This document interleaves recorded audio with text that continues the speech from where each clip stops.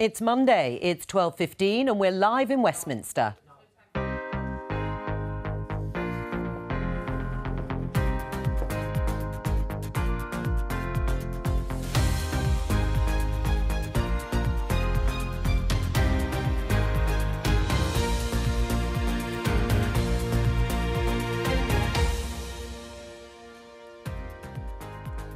Joining me, Conservative MEP Dan Hannan, Independent MP Angela Smith, editor of Spiked Online Brendan O'Neill, and senior editor at Novara Media Ash Sarkar. Today, this. Uh, this morning, we have all now resigned from the Labour Party. Seven MPs quit Labour in protest at the party's handling of Brexit, anti Semitism, and Jeremy Corbyn's leadership. We'll talk to Angela Smith about why she's left. Good morning. How nice to see you all here this morning. Jeremy Corbyn says he's disappointed, and his supporters say it will only help the Conservatives. We offer not only a new party, although it is that, but a new approach to politics.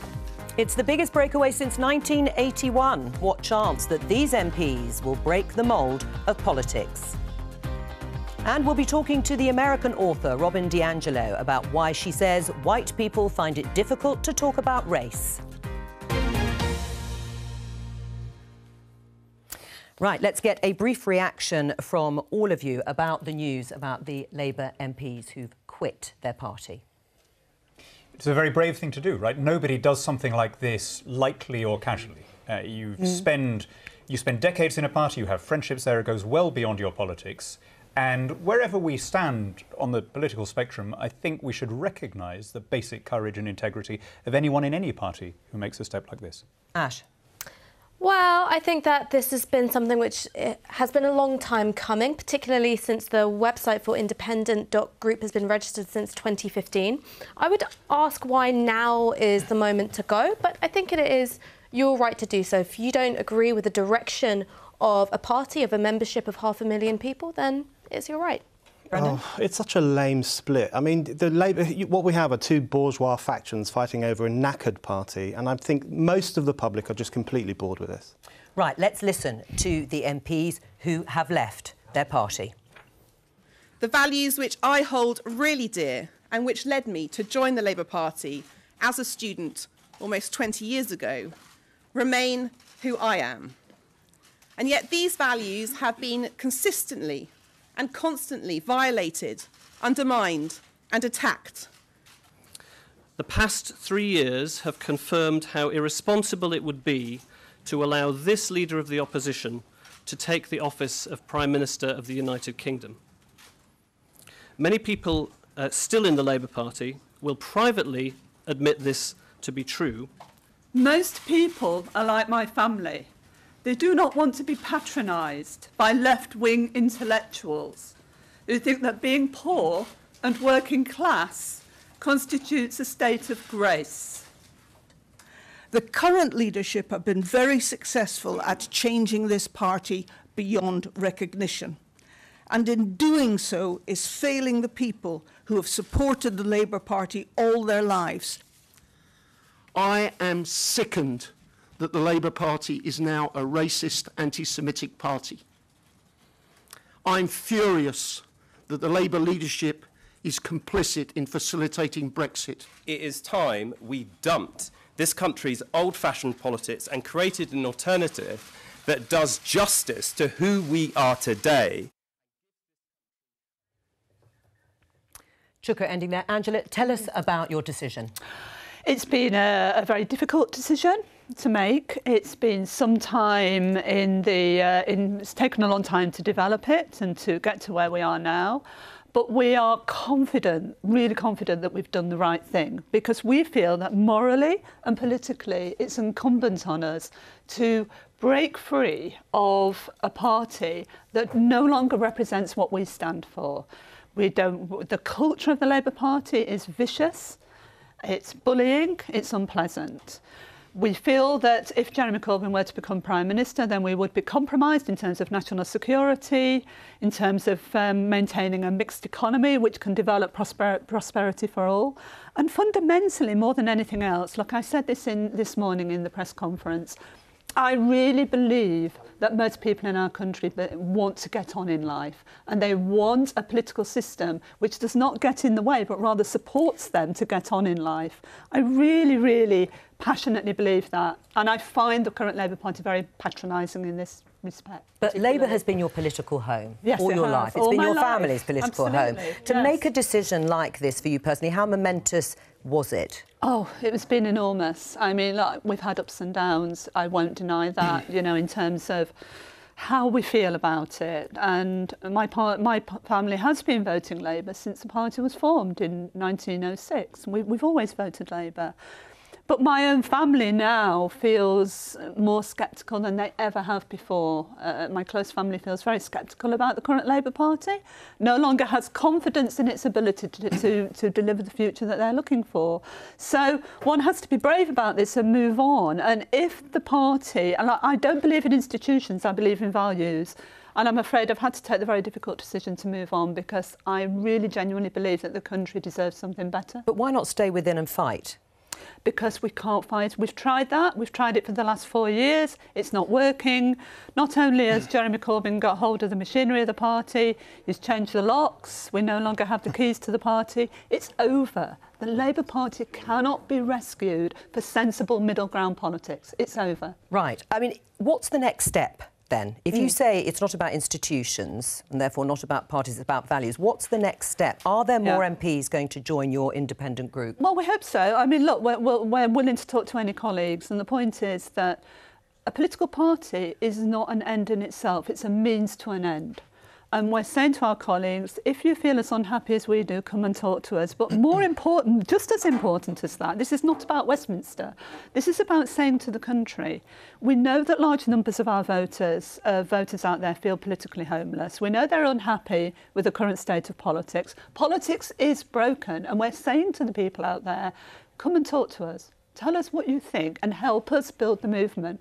We can't do it on our own. We need the British people to do it with us. Right, so this is a movement, not an alternative Absolutely. party. Well, it's a movement. We'd like it to be a party one day, but we need to develop it organically. All right, let's bring in John Healey. He is the Shadow Housing Secretary. Um, obviously, you have listened to the seven MPs this morning. You may have just heard Angela underlining her reasons for leaving the party. What do you say to Angela, listening to her? It's the biggest decision of her life politically, um, and how saddened she is to leave. Huge decision. I've known Angela a long time. I've worked very closely with her, and I know how hard it's been for uh, all seven of these MPs this morning. Um, and I'm desperately disappointed, but I think they're wrong. Um, if they want to see uh, this country avoid a hard deal, no deal Brexit, if they want to see a big change in how this country is governed, if they want to help uh, root out anti-Semitism in the country and in the Labour Party, they should stay. Stay, uh, be a part of the solution, argue your case, and help win the Labour government in the future that so many millions of people need and want. Do you recognise Angela's description of the party and the leadership as abusive, a racist culture, an anti Semitic culture, hijacked by the machine of the hard left? They've changed the locks and the party cannot be rescued. No, I don't. I mean, people like me have, who, who served proudly under a Labour government under Tony Blair and Gordon Brown are in there fighting part of the Labour leadership. And I don't think that description would be recognised by the thousands of Labour members and most MPs. It's certainly true we've let our Jewish members, our Jewish MPs and the Jewish people down and we need to stamp out uh, that sort of anti-Semitism. But this um, overblown description to help justify this, this morning's mistaken move, I think misses the mark. Well, can I just say, look, John, one thing I just want to make clear from the beginning. You and I have known each other for a very long time, and I'm really pleased to see that from, from your demeanour here that we will not fall out personally. There will, you're being courteous to me now. And there are large a large number of my colleagues in the Parliamentary Labour Party that will do exactly that. We'll, we'll stay friends. We'll work together as and when we can on things. Um, but I don't recognise your description of the party. And I think to say that our description of where it is now on racism and anti-Semitism is overblown, I think misses the mark. Um, I think it's also true to say that it's our experience over the past four years that there is no chance whatsoever of pulling any of this back. And I think we have to agree to disagree. I do not think that the Labour Party under Jeremy Corbyn's leadership can build the kind of life-changing, better future that all our people out there are looking for. You mentioned Labour MPs and members. The people I'm vote, bothered about are Labour voters as much as anything else. And I know from my postbag and from the emails I get that Labour voters out there are really unhappy at the state of politics now. Well, and they see the Labour Party as part of the problem. I mean, we stood together on the Labour manifesto yeah. 18 months ago that would have made a big change in this country for the better. But you and I represent constituencies in South Very Yorkshire. Mm. And you talk to the old miners or the steel workers in South Yorkshire, they remember mm. the early 1980s, the last time there was some sort of split in the Labour Party. Mm. They know what happened then. It led to a decade of Thatcherite, Tory damage to our communities and our area. And the problem for me, and why I believe this is the wrong way to pursue the Labour aims mm. that you, all seven of you, still have, is that it takes the pressure and the attention off Theresa May and the Conservatives at this very critical time when we have to be working together to press her to stop a mm. no-deal Brexit. And if we have a general election, which we may well do in the coming months, this can only mean more Tory MPs. I don't think the scrutiny, John, stands up to comparison, the, the, in the early 80s, you had a very strong Tory party. And there was an alternative to a split left. Where we are now is completely different. Different century, different challenges. And we are facing the biggest challenges as a country um, that we have seen, as I said in, earlier on this morning, in the post-war period. Every single major political party is letting the people of this country down. And confidence in the major political parties is at an all-time low. And on that basis, I do not believe that the action we've taken today represents potentially the return of a, a series of strong Labour Tory governments. This government is one of the worst Tory governments I've ever seen. It really is. People out there are, are absolutely looking for politics to be repaired, rebuilt, and to represent once again the sensible middle ground of politics. But your, it's constituents, polarised. your constituents voted Labour. Yeah. I mean, is there a sense of betrayal to those people in your constituency yeah. who voted for you on a Labour ticket? Yeah. Well, I mean. You'll have to go out and ask them, but I, I know from the 27, 2017, in the election in 2017, we spoke to 11,000 voters, and we know from that work that we did that there was a significant degree of unhappiness with the Corbyn leadership. And I, I actually made it clear to my voters I didn't believe in, um, in abandoning the nuclear deterrent. I believed in strong national security, membership of NATO, and my voters absolutely warmed to that message. So I think that my voters will expect me to carry on representing the values John, should she do what Ash has just said and actually test that in a by-election? Well, none of us, um, Angela Smith wasn't elected as Angela Smith in 2017. I wasn't elected as John Healey. I was only elected because I was John Healey, the Labour candidate.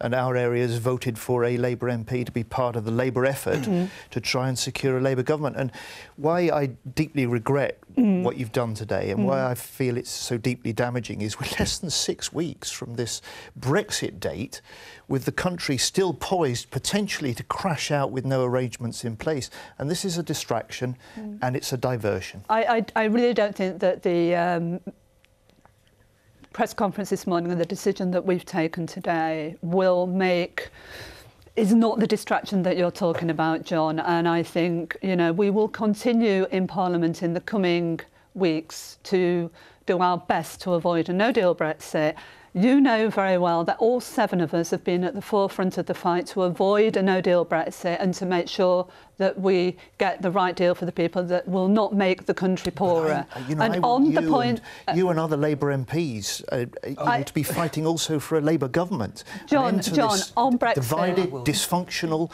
distracted Tory government that is letting down the country. I- that is that's not- why. that's why this is so important. We, we, we do not believe any longer that the Labour Party represents our values in any depth at all. So our view is that the Tory Party, the Labour Party and the Lib Dems, none of them are representing the British All right, people I'm going to have. I'm going to have to let John go. But should she, she being Angela Smith, excuse me, um, actually contest a by-election?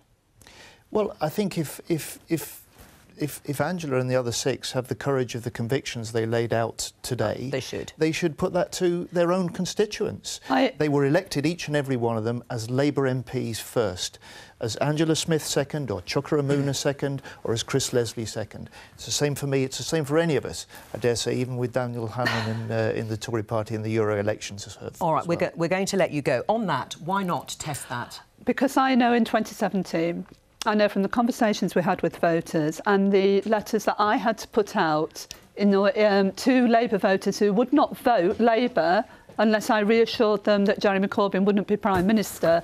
I know we would have lost that seat. We only kept my seat in 2017 because I reassured Labour voters that Jeremy Corbyn would not win the election and therefore they could, in safety, return me as their MP. Ash? I'm, I'm sorry, that's completely outrageous. You stood on a Labour manifesto, and on that Labour manifesto, it said that you would deliver the referendum result. And now you're turning around and saying you don't want that. What's changed since then?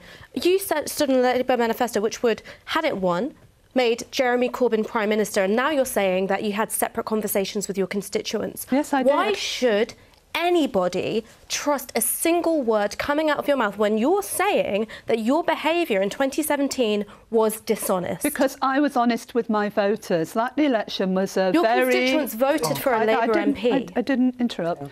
My, I was very honest with my voters. I had, uh, uh, I've known, I've had a relationship with my constituency for a very long time now. I know how most of my voters think because they correspond with me all the time. I was very honest with them. That election was called at very short notice. Nobody expected it.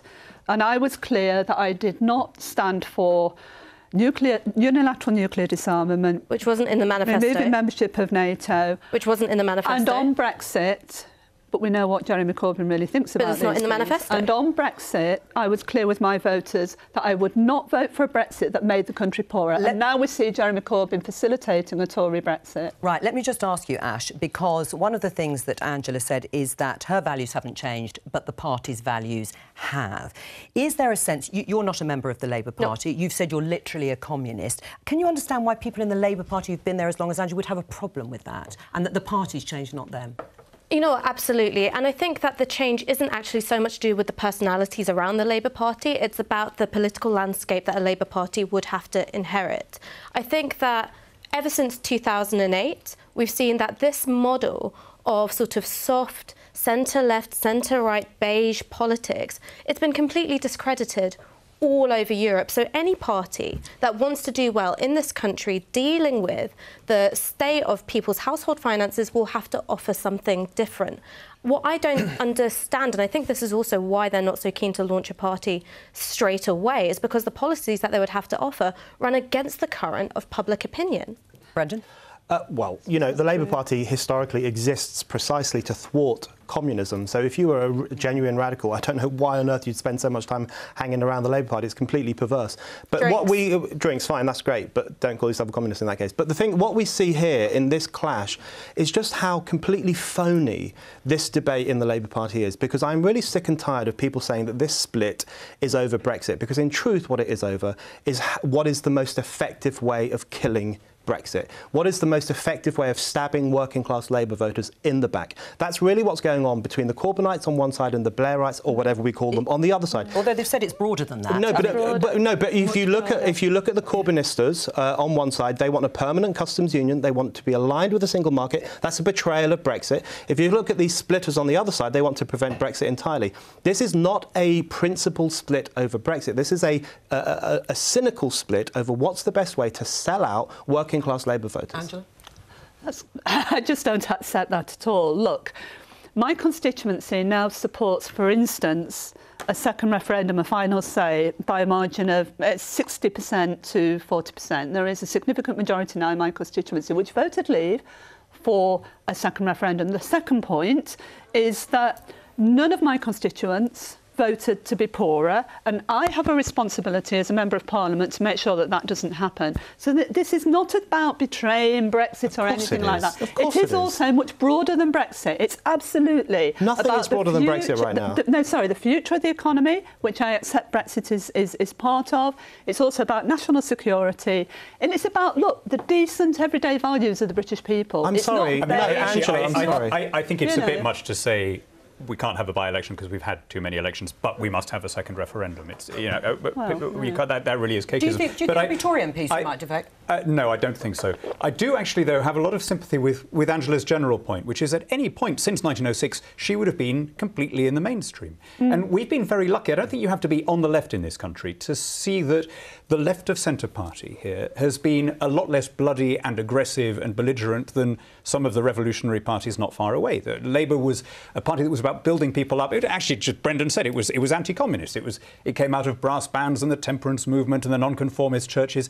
And that party is did. now right. And My that party family is now being led Yeah. by somebody No, who regrets the outcome of the Cold did. War. So of course No. it was going to cause. Uh, But hang some on, the, the result of the last election was that Jeremy Corbyn got 40% of the vote Yeah. share, which was Yeah. higher than for decades we've seen, and he deprived Theresa May Uh, of a majority. And, and, and, and we're pretty confident that that partly it was about the collapse of the third parties, as we know, and it was partly because I think Theresa May's power grab, which is how it felt at the time, give me more power, give me more seats so I can do as I want, was rejected by the British people. And But I this doesn't say, add up. This doesn't no, no, add up. No, no, I'm sorry, can I just finish? The point is, I think the British people wanted the Tories to stay in power, unfortunately, because they were very sceptical and did not trust Jeremy Corbyn to be Prime Minister, but they equally did not want Theresa May to have a large majority. But the- the- and I have to say, look, the, whole, the 2017 election for me demonstrated that politics really is genuinely broken. Is and it we broken? need to get back to sensible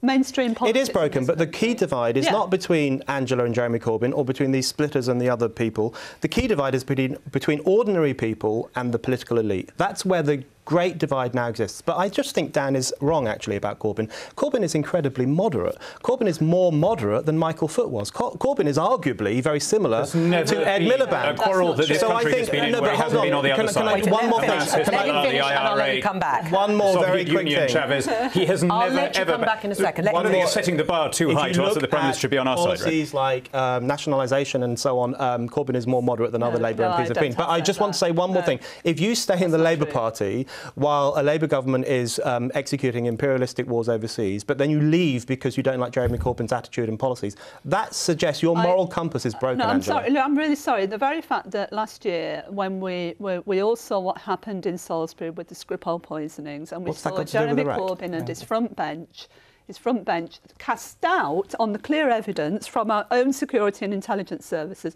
that the Russian state was behind that. When we see Jeremy Corbyn defending the Venezuelan Chavez Maduro regime, I'm sorry, enough is enough. When we see anti Semitism in the Labour Party, enough is enough. When we see the Labour Party patronising working class people and suggesting that perhaps being poor and working class is something to be very proud of, rather than helping working class people to do better in life, that's enough. It's me. pretty damning, isn't it, when you listen to Angela listing it and MPs saying the party's racist, it's anti Semitic, it's unfit for government, it's a risk to security. Well, you know something? The person who um, is part of the splinter who I will really miss and I think was a really positive force in the Labour Party is Luciana Berger. We've got hugely different politics on lots of things, in particular um, approaches to Brexit. We differ a bit on IHRA, but she's a deeply principled politician who's done amazing work on mental health and I applaud her work on anti-Semitism every step of the way and I think there's a lot that has to be done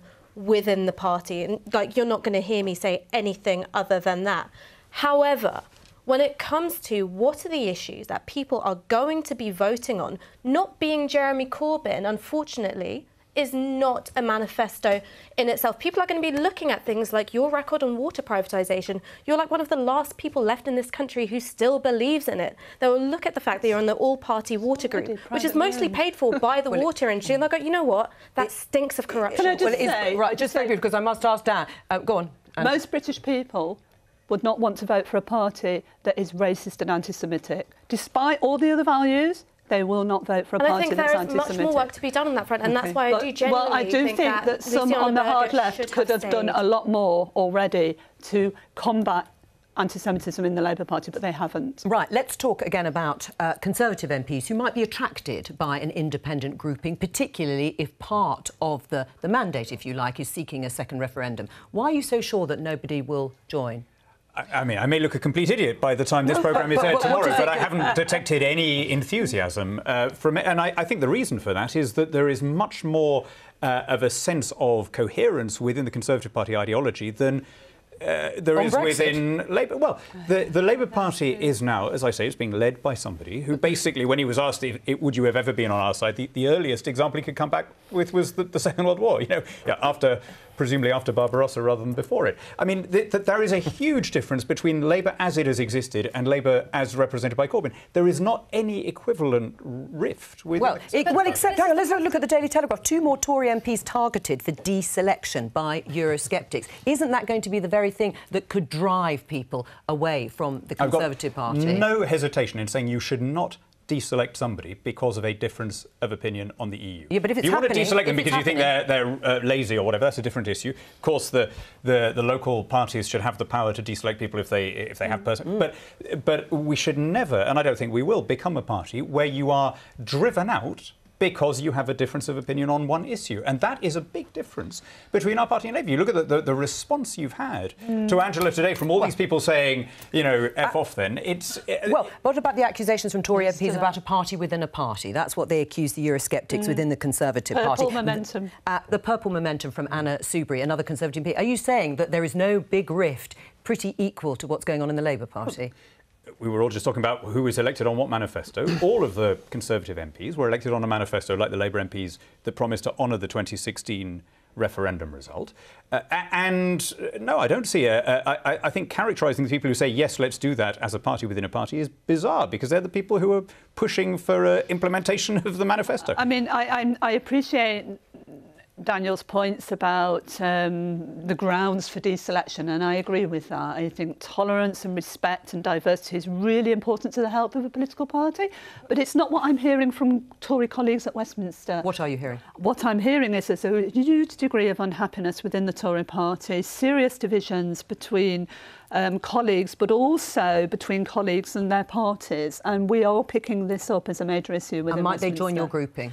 Who knows? I mean, we have to. We're waiting for colleagues to come and talk to us. Are you working with the Liberal Democrats in terms of trying to put forward some sort of Really joint funny that that question only comes up now, right? Spare a thought for, for poor Vince Cable today, the absolute ultimate spare wheel in British politics. only now is it worth asking whether anyone's thinking of joining the Lib Dems. it may not be worth asking, maybe worth Well, asking before, but uh, yes. yeah, yes, Jo. Look, Jo, the uh, our view, and I, I keep saying this, is that all the major political parties are unfit for power. Our view is that if Lib Dem colleagues want to come and talk to us, just in just the same way as Labour colleagues and Tory colleagues want to come to talk to us, we're very, very willing to sit and talk. to them. But there's no merger, no, no sense of a merger between us and the Lib Dems. Who would you prefer to win the next happen. election?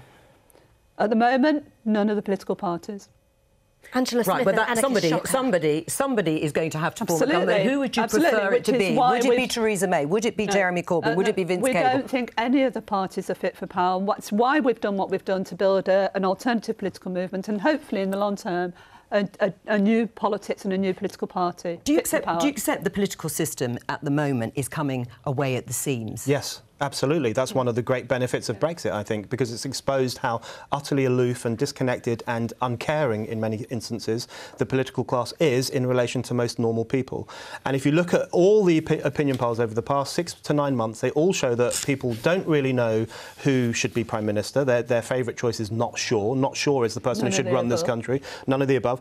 Um, they, uh, that they think that politicians do not represent their interests. They think that political parties don't listen to them. That's the culture we live in. And I simply don't think it will be helped.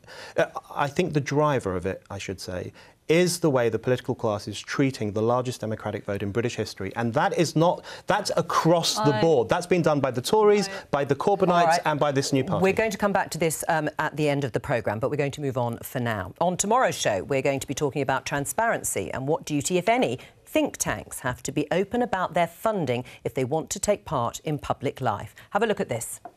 And you can keep asking me, and I'm just not going to tell you. It's a private matter. And just the fact that there are loads of people screaming on Twitter asking me a question is not a reason why you should answer it. Supposing I were to say, these are the 12 FTSE 100 companies that give us money. You actually think these conspiracy theorists should go away? Maybe they wouldn't They- go they away, are- but you'd be being honest, They- wouldn't you? well, but, but I say it's not a question of honesty, it's a question of privacy.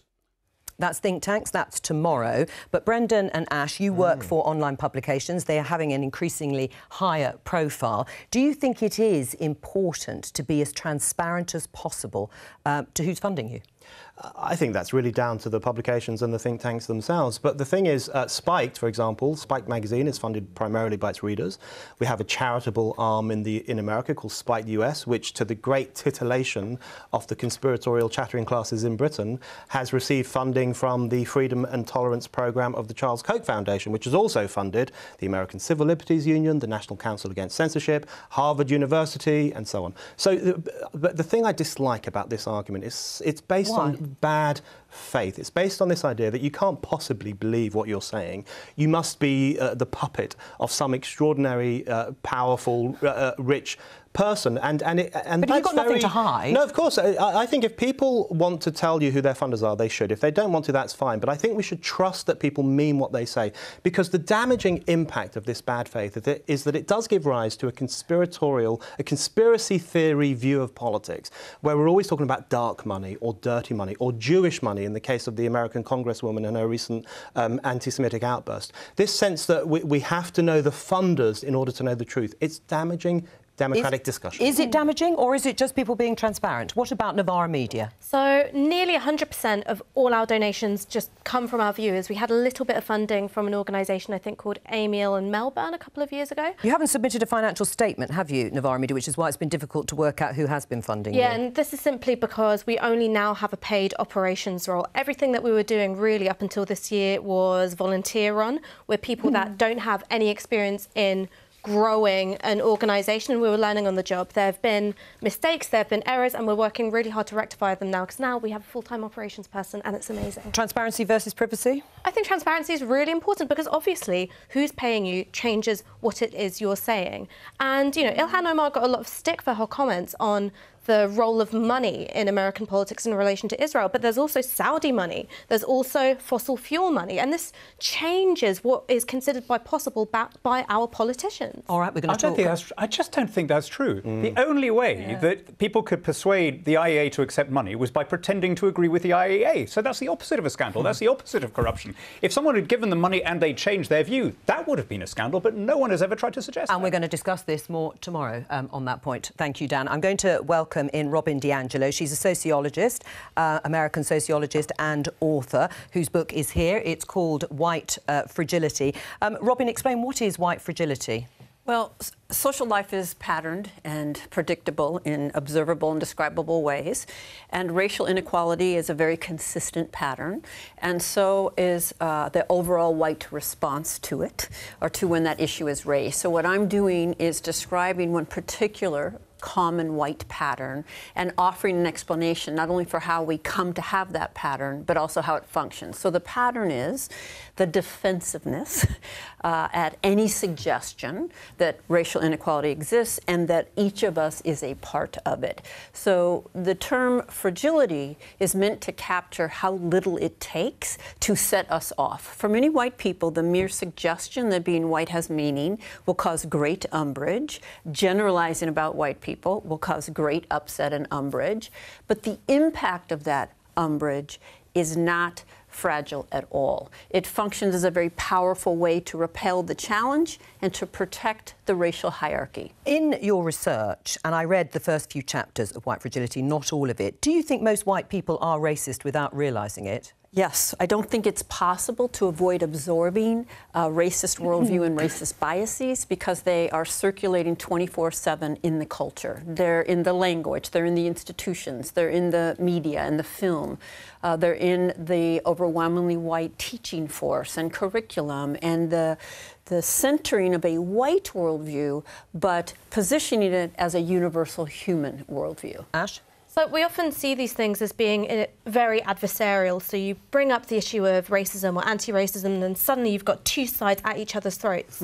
now, half of my family is white. My stepdad, the only dad I've ever known, is well, he's actually more of a pinkish colour, and both my brothers are white, my niece and nephew, and I love them dearly. And a huge part of having a relationship with my brothers, with my stepdad, has been navigating the fact that our experiences, because I'm South Asian and they're not, are wildly different. Sometimes that has involved conflict, that's involved upset, but because fundamentally we love each other, we want to understand each other better. And also, on the part of my stepdad, he wants to be able to protect me from the world because, you know, he's a dad. He will amend his position and reflect on the ways in which his position as a white man has you know, attached blinkers to him throughout his life. Do, do you feel like that if you're asked a question about race? Um, maybe I'm a fragile white man, but what I dislike about these arguments is, is, is the rehabilitation of racial thinking and the rehabilitation of racial determinism and the idea that white people are inev inevitably racist as if, it's, as if they were born with some original sin mm. mirrors the, what used to be said about black people, which is that they were biologically determined, that they were biologically inferior. And it's, I think it's actually quite repulsive. But the, the, one of the key problems, but one of the oh, key yeah, problems, no, but you just said that we're influenced by the culture and that's a replacement of biology. But one of the key problems problems I have with this. This idea that all white people have the shared experiences, it seems to me to be such an extreme denial of the divisions that exist within white communities on the basis of class, on the basis of power. You know, my white family, for example, my white parents, for example, are immigrants. They ex experienced extreme poverty. They experienced a lot of hardship. The idea that they have the same experience and the same reaction to things as the incredibly wealthy people who might have given them jobs at some point in their life is a complete similar. denial of All right, well, let Robin, let, let Robin respond to that. So, so first, I was born into poverty. I have been poor most of my life. Homelessness, foster care. Didn't go to college till later. I always knew that I was white, right? That is a huge barrier that I have not faced, and not facing it has actually helped me navigate classism. I don't know how anyone can say that the experience of being poor or working class and white is the same as being poor and working class and black. Right. Well, let's eh, put let's put that to let's put that to Dan. I mean, is there a sense if you're white, you're just always going to have that advantage, whatever else is going on? no, I mean, I, I, agree with Brendan. I think it's really yeah, sad that, that we are now becoming yeah. so obsessed with people's physiognomy, mm. that that becomes their defining characteristic, yeah. that we judge them not by their kindness, their intelligence, their generosity, their courage, but purely by how they look. We, we say that person A is responsible for person B, who he or she may never have met because they happen to look the same. This is the opposite, for me, of the anti racist ideal that in the 20th century liberals and progressives all adhered to. We took the view, and that, that, that, in fact, liberals and conservatives alike took the view we should all be primarily individuals. The left fought bravely and honourably for the right of minorities to be treated the same. It is very sad to see them now demanding their right to be treated differently. Right. I mean, you talk about over smiling, um, which I didn't quite understand what you were trying to get at. That the kindness, niceness, these are not things that people yeah. should use. No, I'm not saying that they shouldn't. I mean, being nice is certainly better than not being nice, but that it doesn't interrupt the systemic nature of racism. The research is really clear that children born in Western contexts internalize a sense of knowing it is better to be white by three to four. No child grows up and doesn't know very early that it's better in this society to be white. Uh, and they, uh, you know, it, everyone has implicit bias. I think this is another key piece as long as you define racism or to be racist as to have conscious and intentional uh, malintent towards somebody based on race, you're going to be defensive and you're going to be offended That's by the suggestion that you're complicit with it. I, I recognise entirely the, the argument being made, and it, this is a really incredibly important debate and we need to work through it rather than running away from it. I understand that. And I, I, I would add to the, to the argument made to say that uh, a white working class woman finds hard, life hard enough. A BME, working class woman, and this is the gender aspect, mm -hmm. will find it even harder.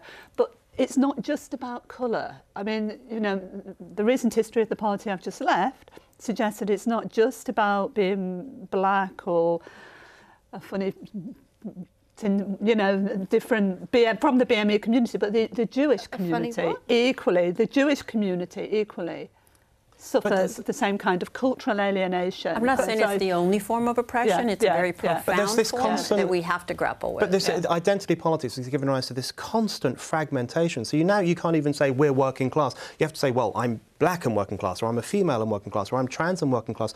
It really proves that intersectionality is actually the enemy of solidarity because it splits groups more and more and more so that the possibility of coming together and saying, look, we have common interests and we should fight for those common interests just goes down and down all every the time. Every individual matters. I, I, every individual matters, and that's where we need to get to culturally. It's I accept actually. the barriers and the cultural barriers. It's, I mean, do you want to know an interesting thing about how my mum and stepdad first met? This is like way back in the 80s, and I think she was wearing flares at the time. It was actually part of being the Labour move, uh, being part of the Labour movement. She was an anti-racist activist.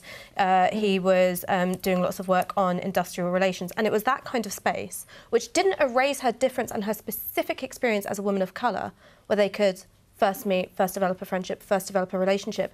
I don't mm-hmm. see why the observation of me having a different lived experience suddenly means that we can't understand each other better. Yeah, totally and I'm going to have to that. stop it there. I'm sorry because we're almost out of time. I'm going to have to let Robin that. go and her book, uh, White Fragility. Um, we're going to welcome Laura Kuenssberg, our political editor, in, in just a moment. We're going to hear from the Shadow Chancellor, John McDonnell, in response to Angela and her colleagues having left the Labour Party.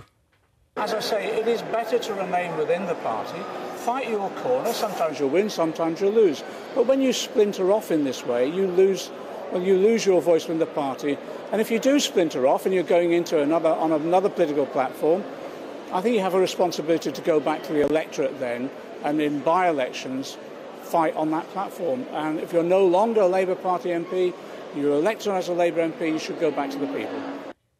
Laura, bring us up to date. We've just heard John McDonnell there talking about his view of them staying and fighting from within. Well, they're not going to. How big a blow is this?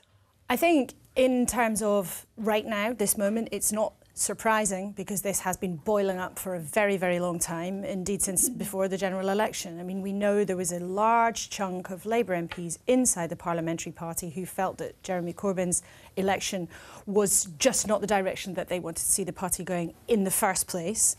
However, they stayed to try to make it work, but there has been that building sense of unhappiness. And, you know, I, I know that there are many of them who said during the 17 election that they told their constituents that they didn't think that Jeremy mm. Corbyn would end up being the Prime Minister. So therefore, that's what Angela said. stay. And, and it was, that's the first time I've heard a Labour MP, a former Labour MP, say that openly. She's not the only one to have believed that. Now, in terms of where this goes next, More frankly, MPs. right now, it is impossible to say. Look, I'm not going to be surprised if in the coming days there are a relatively small number who make a similar decision. There may be a couple of Conservative MPs who, in the coming weeks, make a similar decision. But I think at this point, look, this could be just this sort of small explosion of unhappiness that had been there for a long time, or it could be, Jo, and frankly, this will be up to also our audience and members of the public.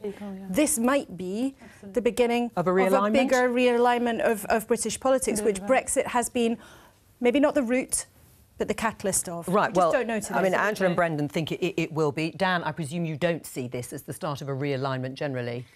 like everybody else, right? If I'm being honest, I haven't got the foggiest. But it, from, where I'm standing, it doesn't seem likely. I think what we're seeing is a, a, an almost inevitable consequence of the fact that traditional Labour voters, the kind that Angela was talking about, Labour MPs, and the Labour leadership are, op, are occupying three barely intersecting circles that only just touch at the edges. I think a split was Uh, was coming sooner or later, but I don't think that that has consequences for the other parties. Any changes that we're going to see from Labour leadership in response I to this? I don't think imminently. I mean, look, we'll have to see what this does to the alchemy around the Brexit votes. So the seven that have left are all people who have been pushing for another referendum, and they are therefore not people who are going to vote for this deal in any case. So it may not make an immediate difference to the arithmetic. Whether the alchemy around it changes, because we're in such unpredictable times, you know, we just don't know at this stage. But one thing that just was very striking to me this morning, being in that room, listening to them all speak, none of them took any joy in this, and I think they're very well aware that they are in for a very bruising time. On that, that's all we have time for. Thank you. Bye-bye.